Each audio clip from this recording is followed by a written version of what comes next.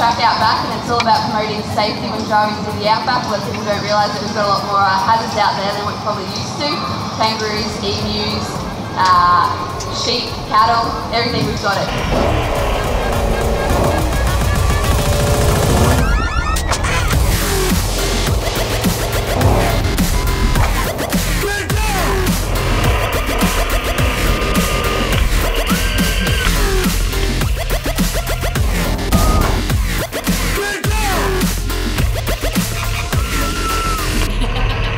Well, from Longreach, you would have done this before, wouldn't you? Yeah, of course, we're getting some driving tips actually. It's a lot of fun out there and I recommend everyone coming out. It's nice out there.